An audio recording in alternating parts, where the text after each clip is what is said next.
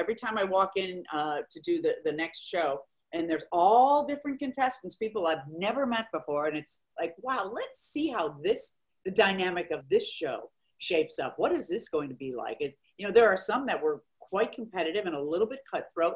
And then there were some that were like, they were almost crying when they voted people off. Oh, they felt so bad for them. And I was like, there's no crying on the weakest link